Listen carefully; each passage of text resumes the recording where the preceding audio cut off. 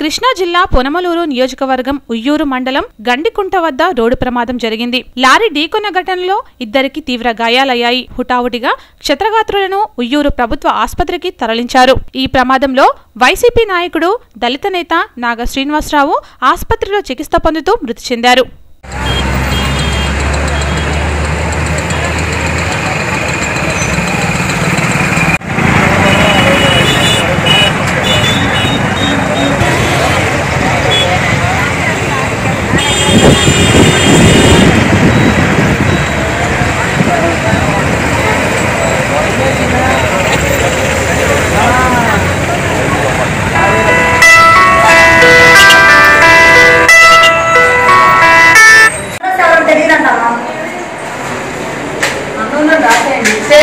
meses